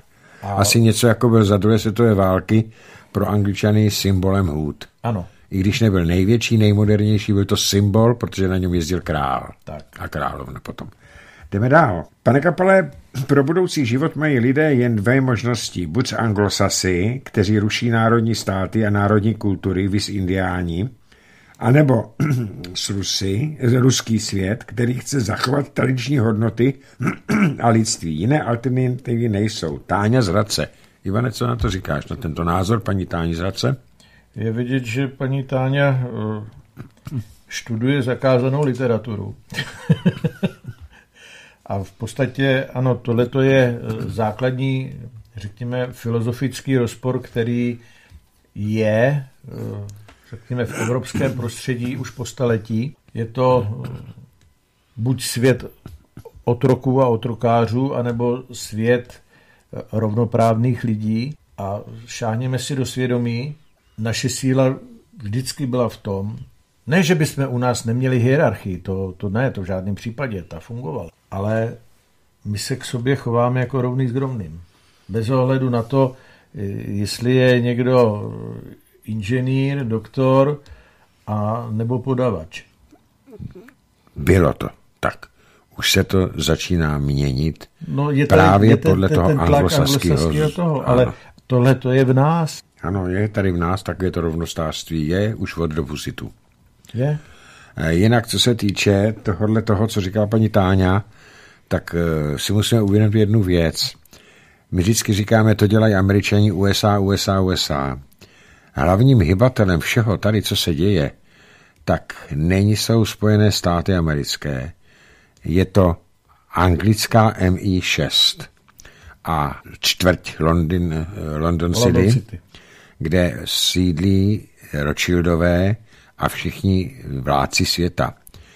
A ti ovládají i americký deep state, americkou politiku, takže za všem, všech, za vším svinstvem, které se tady už 200 let páchá na světě všude, tak je anglické, anglické tajné služby a angličtí milionáři. Nebo miliardáři, Rothschildové a. Takže tady to je. Máme telefonát. Uh-huh. Tak, dobrý večer. Slyšíme se? Dobrý večer, chlapi, tady je Pavel Matějka, ahoj, zdravím vás. ano, další dizident. Eh, Chtěl jsem jenom říct, že dneska byla krásná zpráva zveřejněna, že Evropa o půlku schudla a ruský stát jako federace zbohatnul eh, jednou tolik proti loňským eh, výdobytkům. Takže to mě potěšilo, protože jak je vidět, opravdu Evropa nebo pan Fiala a podobný šačkové netrestají nás, ale trestají celou Evropu. Z čehož mám opravdu radost, protože za těch 8 let si myslím, že Rusko jako takové eh, neskutečně posílilo, udělalo se soběstačným a eh, myslím, že má dostatečné zásoby všeho, jak energií, já nevím, nerostného bohatství a všech dostatných prostředků, a které nemá, tak se určitě může obrátit na Čínu, protože Čína je největší dodavatel i americkým eh, prefabrikátům. A nemám z toho strach, akorát mám strach z toho, jak jste říkali, že nějaký blb doopravdy zoufalství zmáčne to tlačítko. Mějte se hezky, příjemný poslech, krásně se to poslouchá a dávejte na sebe pozor. Hezký večer. Ahoj. Pavlíku, díky Ahoj. za tvá slova, jsem rád, že seš takovým úderným rozpoložení, udělal jsi mi radost. Ahoj. Ahoj. Tak eh, my jdeme dál na další otázky. Eh, jo, ještě připomínku malou. Eh, Pan premiér Fiala řekl, že pokud by nám Rusko zastavilo dodávky teda fosilních paliv, takže by nám musela zákonitě pomoci svobod, eh, Evropská unie. Jasně. Akorát nevím, odkud to ta Evropská unie veme. Bude brát, ano. Tak, další dotaz. Dobrý večer, pane Kapele. milujete historii, tak určitě víte o tom, že Hitler rozjížděl vesmírný UFO program. Kde myslíte, že ty technologie vzal, tak tím směrem hledejte, kdo za pultíkem stojí. Díky za krásný pořad Vladimír ze Znojma. E, Ivane, chceš se k tomu vyjádřit jako host? Jako host nechci tedy rozvíjet teorie, které mají reálný základ, nicméně nemáme dostatek, řekněme, důkazů k tomu, aby jsme rozvíjeli tento styl hovoru, ten si nechme, když tak někde u ohníčku nebo... Ale ne, ono, se, ono, ono to je na další dobu, tohleto povídání. Můžeme do toho zamíchat výpravu amerického admirála v roce, myslím, 46 nebo 47 a Kantartidě, kde dostali přes držku od letajících strojů konstrukce, která do dneška ještě není zvládnutá a tak dále a tak dále. Takže Já jenom, nechme to tu téma Jenom, jenom krátce, eh, nedaleko Prahy v Letňanech se vyráběl za Hitlera eh, letoun letajícím talířem. Byly tam provedeny i zkoušky, jsou o tom písemné doklady, že obyvatelstvo bylo nahnáno do sklepů, eh, nesměli být ani v bytech, byli ve sklepích, aby to neviděli a ono jim to dokonce lítalo. No a pak eh, to bylo před koncem války a pak se to někam ztratilo a to už si nepamatuju jak. Takže něco jsem o tom slyšel. Ale jdeme dál. Dobrý večer, vážení pánové, velmi děkuji za dnešní opět vynikající pořad. Jsem šťastná, že je pan Kratochvil v pořádku v rámci možností a že ho konečně slyšíme. Dotaz na hosta. Jaký má názor, jako host, tedy ty, uh-huh. na čečenské vojáky a na jejich prezidenta Kadyrova? Děkuji, Zuzana. Eh, Čečen, Kadyrovi úderné jednotky vytvářejí obrovskou práci eh, nejenom z hlediska vojenského, ale především z hlediska celosvětového nebo eh, prostě eh, řekni to jinak. Eh, na straně kijevské vlády je spousta bývalých vojáků islámského státu a to jsou muslimové. Tato kooperace byla právě realizována přes ty prapory Azov, no dneska už je to, v podstatě to byla brigáda, jo, podle počtu lidí, to už nemělo s praporem nic společného. A v muslimském světě, když někde válčí muslim, tak eh, a je náhodou zabit, tak jeho rodina může proti tomu bezvěrci, kterého ho zabil, vyhlásit džihad, jo, svatou válku. Protože muslima smí zabít muslim, ale nemuslim ho zabít nesmí. To musí ta rodina potrestat. Takže aby se předešlo tomuto, aby ty lidé, kteří stojí za Zelenským, aby nevyužili eh, tohoto, řekněme, zvykového práva muslimského světa k tomu, aby poštvali, protože muslimská komunita, co se týká z celosvětového hlediska, není bezvýznamná. A ty státy, které jsou jižně od Ruska, jsou většinou muslimské, ať už se budeme bavit o Kazachstánu, Kyrgyzstánu, Uzbekistánu, tak aby zabránili této, eh, tomuto džihádu, vyhlášení džihádu vůči pravoslavnému Rusku, tak jsou tam používány právě tyhle ty muslimské oddíly Kadyrova, protože Kadyrov, eh, ono, i v tom islámu je spousta směrů a Kadyrov je představitelem toho směru, který eh, byl v ruském impériu a byl, je podporován, kde prostě jednoznačně je dano, tohle to je náboženská záležitost a tohle to je civilní podstatě s tímhletím principem i přistoupili při, v době připojení Krymu, což bylo za Kateřiny II., tak krymský chán vlastně s tímto principem přistoupil do ruského impéria a nikoliv do osmanské říše, která byla muslimská. On jako muslim dal přednost pravoslavné Kateřině proti muslimskému os- osmanskému chánovi, protože věděl, že v tom osmanské říši by prostě eh, byli převálcovaní, když to tady si zachovali svoji národní identitu do dneška. Takže oni jsou tam především z tohoto hlediska. Z druhé strany jsou to válečníci, kteří bojují za jednotu Ruska od začátku. V podstatě přes klan Kadyrova se vyřešila čečenská válka. Vemte si, jak vypadal na přelomu eh, tisíciletí Grozny jako hlavní město a dneska je to jedna z nejvýznamnějších metropolí nádherná. A tyhle ty jeho oddíly jsou tam v rámci Rosgvardie, to znamená, to nejsou vojenské oddíly, ale to je eh, tahle ta ruská garda, to je v podstatě, eh, při, přirovnal bych to, ve Spojených státech máš armádu a pak jsou tam národní, národní garda. garda. Takže to je v podstatě toto, je to ta národní garda, to znamená, oni nemají těžké zbraně, oni jsou tam proto, aby likvidovali malé bojůvky různých zbouřenců, když někde se zbouří, já nevím, velký vězení, seberou zbraně a teď prostě, jo, to jsou, oni jsou na tyhle ty pěchotní věci. Jako no, ale vojenská policie. Vojenská policie, ale oni jsou vojenský...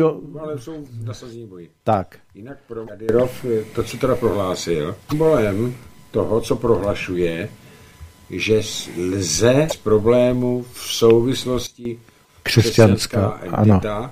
pokud obě strany toleruje. A to je princip fungování ruského impéria. Ano. Takže dost, eh, řekl bych, podporován eh, v Čečně, protože tam ti lidé od jeho nástupu do té funkce prezidentské mají klid. Ano. A je to jeden z Ano. Tak další dotaz. Dobrý večer, pán. Oba dva jsme velice rádi, když eh, nám podporu projevujete i tím, že nám to napíšete na mail nebo SMS-kami nebo tak nějak, protože, jak už to říkal Ivan, je to pro nás psychická, eh, psychická vzpruha. Mě, protože ti právníci jsou vůbec lacině zadarmo ani kuřené. Pinda Černochová chce obranou smlouvu z USA, jako uzavřeli slovenští zráci a prostřednictvím ní zřídit americkou základnu v České republice. Místo kroku k uvolňování v Evropě jen další přikládání pod kotel. Zdá se, že banda šmejdů, co podivně, podivnou úpravou volebního zákona uchopila moc, udělá všem pro likvidaci země a ještě ji nakonec do války opravdu zatáhne. Tihle hajzlové jsou horší než autoři zvacího dopisu. Já vím, obraná smlouva. V podstatě ta obraná smlouva je na to, aby obešla NATO. Protože v NATO jsou postaveny historicky smlouvy a principy, které v rámci zásadních rozhodnutí vyžadují koncenzu. A protože v poslední době američané nejsou schopni ani v tom NATO dosáhnout úplného koncenzu, vždycky se tam někdo najde, kdo s tím nesouhlasí, k tomu, aby prosazovali svoje zájmy, protože už je prosazují eh, tak nevybíravým způsobem, že eh, to prostě se sem tam v někom ozve svědomí, že to prostě tudy nejde, tak si našli cestu, že obejdou tyhle ty orgány na to přímými smlouvami. Tahle ta smlouva není o tom, že si Amerika postaví svoji základnu. Ty, ty doby, kdy Amerika na to měla peníze, ty už jsou pryč. Ta smlouva je výrazně horší. My si postavíme základnu, my ji vybavíme logisticky, my ji budeme zásobovat, my, my to zaplatíme, my je nakrmíme a jenom oni se rozhodnou, kdo tam bude a jak dlouho tam bude. Takže to není americká základna, to bude česká základna, která bude podporovat, zásobovat a opečovávat ty vojáky, které se americká strana rozhodne tam mít. To ani nemusí být američtí vojáci, bacha. Přeženu, to můžou být třeba vojáci Ugandy. No, um, takhle. Podle toho, co říká Macron, přes zvěst rozpadu NATO, protože NATO se už nehodí právě kvůli článku 5 a kvůli, hlavně kvůli článku 1. Jedna. Chtěl zrušit Trump, protože to stojí Ameriku moc peněz a přitom ve všech operacích, které se zúčastnilo, překračuje. Ano. To znamená, že on, tohle to je už první. A má to ještě další aspekt. Eh, v prosinci loňského roku stanovila eh, Rusko nějaké požadavky, které chce, aby Západ vůči ní respektoval. A mezi nimi je, že NATO se vrátí do hranic roku 97, nebo, jo, což znamená, že by tak, do NATO. To znamená, že by na naš, z tohoto hlediska, tak jak je to koncipováno, že by na našem území neměly být vojska NATO. Ale nejenom to. My bychom... No jasně. Nicméně touhletou dvoustranou dohodou se tento požadavek ob, obejde a americká vojska tady zůstanou. Jo? Přesně tak. Ano, je to, je to... Je to Overtonovo okno, které je připraveno na to, že teda nakonec Amerika ustoupí a uzná ty ruské požadavky jako legitimní, ale ono se vlastně fakticky vůbec nic nestane. Přesně tak, že bude mít bílé státy a bude tady mít svý vojáky. Takže vlk se nažere a koza To zůstane celá. Přesně toho nata. Nata. Ano. Dobrý večer, pánové. Děkuji za nádhernou píseň. Proto lidem vzkazuji. Žít v míru. Nenechme si vzít kvalitní život. Komentuj. Ano, Tak vysvětli proč. ta paní to řekla krásně. Protože v ní je život. V ní je krásně zobrazena ta touha člověka, že má žít, ale žít neznamená přežívat. Žít neznamená sedět na zadku a spát do sebe nějaký sračky a jenom počítat čas, který tady mám strávený. Žít znamená žít plnohodnotný život. Je to touha lidstva od počátku dějin, protože ty, kdo sledují dějiny, Ano. a mně se to nelíbí. Jdeme další. jak to říct slušně, Spravodajské služby jsou řízené vládami a zřizované vládami. Takže ti, kdo ovládají vládu, ovládají i spravodajské služby. A spravodajské služby eh, činí na objednávku vlády své kroky a jsou vládou placeni za tyto kroky. A, měli by být i kontrolováni. Takže eh, pokud eh, vládu nějakého státečku někdo ovládá, tak první, co udělá, je, že, o, že si zabezpečí, aby ovládal i její spravodajské služby. Takže si nemůžeme divit, že na kosmodromu, uh, myslím, že to bylo Vostočný, byl zadržen agent české rozvědky, který pracoval ve prospěch všech států na to, co se týká kosmického programu. Tak Jo? ty- Ano. Teď tam měla paní Černochová, no samozřejmě pro notičky do Langley. A e, vím, další věc jsem dneska četl na mainstreamu, No tam jsou osobní. tam jsou osobní vazby. Že jo, ale co můžeme chtít od tajné služby, která by měla pracovat ve prospěch e, českého státu, e, když její hlavní šéf dostává vyznamenání za dobrou spolupráci s CIA. CIA. Takže ne?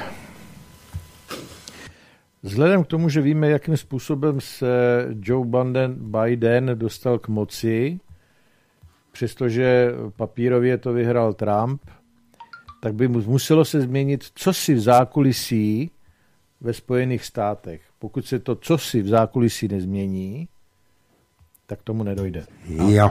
Tam nevidíme. A e, takhle, ještě já se podívám na tu. Tohle to už se říkalo, tohle to už se říkalo několikrát a e, já tomu nevěřím. Protože ty, e, ten deep state a ty globální mocnosti, ty mají pořád tolik síly, že si to tam ohlídají, protože mají všechno v rukou. Ano. A už se tohle to říkalo několikrát, já tomu osobně nevěřím. A já, abych se vám přiznal, tak eh, prezident, ex-prezident eh, Trump tvrdil, že hm, za dva roky nebo za jak dlouho budou tam ty volby, tak eh, že zase bude kandidovat a že to vyhraje. Já jsem přesvědčený, že to nevyhraje. Stejně tak jsem přesvědčený, že tam bude korespondenční hlasování, jako to bylo. Hlasovali lidi i z dob Abrahama Lincolna, tak proč by tam nemohli hlasovat lidi z dob vyhlášení nezávislosti, že jo? A stejně tak nevěřím, že by se něco změnilo, pokud bude přijato korespondenční hlasování tady u nás, protože abychom zvrátili těch milion hlasů, tak by tady musel ten stát opravdu se pochlapit, ty voliči, český národ, a volit pro národní strany. A tomu nevěřím. Hlavně by se musel změnit způsob sčítání hlasů. Takže jdeme dál. Dobrý večer. Chtěl bych se pana podplukovníka Kratochvíla jako experta zeptat, jak hodnotí půlec starého ukrajinského proudového dronu velikosti prakticky MiGu-21 vzdušným prostorem tří států NATO aniž by PVO adekvátně reagovala? Vždyť to mohlo nést vedle výbušní například biologické zbraně nebo špinavou bombu. Já to vnívám jako totální neschopnost PVO na to.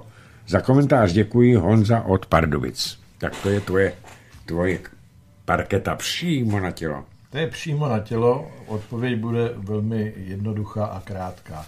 V Evropě žádné PVO neexistuje. PVO je systém. Je to systém, který má různé prvky, které prvky se prolínají, podporují jeden druhého a jsou tvořeny jednak protiletadlovými komplekty, které hlídají těsně nad zemí ty výšky, protože tam není radiolokační pole, ano, radar tam nevidí. Vidět, takže ty, ty se hlídají buď těma malinkýma na trojnožce, ne, nebo, nebo těma, co se odparují z, rak, z, z ramena, ano.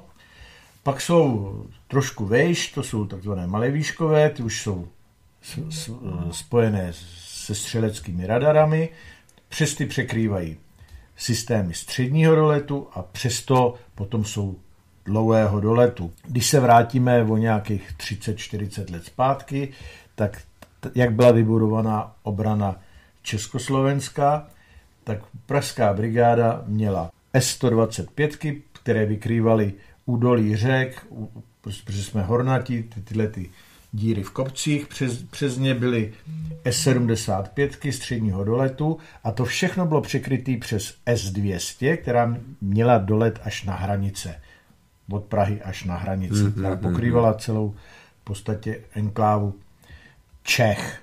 Na Moravě byla druhá brigáda, tohle mluvím o pražské brigádě. Protože bylo spočítáno, kolik letadel může najednou zhruba tak vletět, tak aby nepřečíslili schopnost eh, této brigády to sestřelit, tak ještě před postavením byl postavený tak Kralovický pluk, kde byly S-75, které měly v podstatě zachytit ten první úder.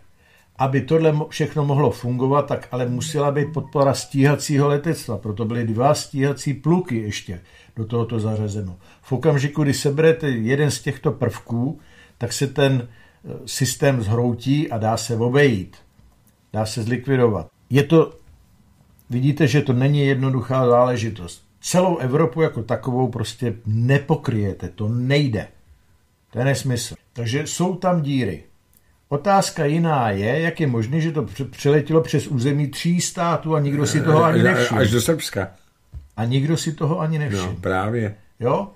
Že to radiolokační pole, i když je děravé, tak eh, ty odborníci, co sedí u radiolokátorů, tak vědí, kde ty díry mají a měli by si to pohlídat, takže takovýhle dron by měl být zachycen. Takže jsou dvě možnosti, buď byl zachycen, nebo nebyl. Pokud nebyl, tak to znamená, že se šetří na nesprávném místě. A pokud byl, tak je jasný, že protože nejsou aktivní prostředky, které by to mohly řešit, tak to nikdo neřešil, protože zvednout letadlo, které by ho sestřelilo, je záležitost na pat, minimálně na 15 až 20 minut. A to může ten pilot, když sedí v letadle, tak to zkrátí někam na 5-10 minut, než se dostane do vzduchu. Za těch 10 minut tenhle ten dron přeletí přes dva státy. Důvod, proč Evropa nemá protivzdušnou obranu, která by byla funkční, je jednoduchý. Od dob studené války převaha Spojených států, nemluvím o NATO, mluvím o Spojených státech, převaha byla v letectvu.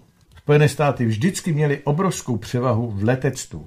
I pro NATO Spojené státy v podstatě letectvo bylo toto gro. Ne, že by ostatní letadla neměly, ale ve srovnání e, s možnostmi US Air Force byly marginální. Letadla se dobře sundávají proti letadlovým vojskem, takže proto v Evropě toto bylo zrušeno, zrušeno aby ta dominance Spojených států nebyla ničím narušena. Jdeme dál. A je to poslední dotaz, protože bude 9 hodin. Aha, ty já už se musím, musím já mám večerku. No. Ano. Dobrý večer, pane Kapale. Zdravím milého pana Kratochvíla. Chtěla bych se zeptat, jestli si myslíte, že ti, kteří hýbou tímto světem, mají zájem o jaderný konflikt. Kde přežijí? Co rostliny? Co zvířestvo? Co radioaktivní spad? Vždyť oni si svoje penízky chtějí užívat. Děkuji za odpověď a přeji krásný večer, píše Eva Sedláčová. A je to poslední dotaz, na který bude Ivan Kratochvil reagovat, protože musí být do 10 hodin Pokud někdo si myslí, že má vytvořeny enklávy, které se budou podo- podobat ráji, tak si je vytvoří tam, kam si myslí, že tenhle ten spad ani ty rakety nedoletí. A všechno ostatní může zhořet, protože když všechno ostatní zhořejí a ty lidi přestanou existovat, tak tam ale ty zdroje, které tam jsou, tak ty tam zůstanou. A on může tady vegetovat a mít se jako v ráji ve svých rajských enklávách. Jedna z takových, takových enkláv vybraná je Nový Zéland, kam třeba nesmí vůbec přijímat žádné migranty. V podstatě nesmí přijímat ani evropské žadatele, aby tam mohli žít, právě proto, že si to ti, tihleti deep state a tyhle ty hybatelé, že si to rezervovali pro sebe, protože si vypočítali, že Nový Zéland by toho byl ušetřen. Austrálie ne, Nový Zéland ano. Tak, vážení přátelé, to je od, dneš, od nás ze studia Beta s Ivanem Kratovýchlem všechno, protože Ivan eh, musí být do 10 hodin večer doma, to je neskutečně už rok, přes rok. Přes rok. Přes rok. Takže, Ivane... Ne, já přes ti... rok. Nezapomeň, že jsem dva a půl měsíce byl zavřený. No, dva a půl měsíce, to bylo strašný, to já bych asi nepřežil. A takže díky, že jsi si udělal na nás čas i svým zraněním z té nehody, přeju ti, ať se ti to rychle, rychle zahojí, no hodně pevný nervy a, a děkuju. Já děkuju taky a přeji všem lidem, aby se nezapomněli usmívat, aby se nezapomněli zpívat si krásné národní písničky, protože v nich je život, v nich je láska, v nich je budoucnost a v nich je vlastně štěstí. A já chci, aby jsme všichni byli šťastní. Dobrou noc. Dobrou noc.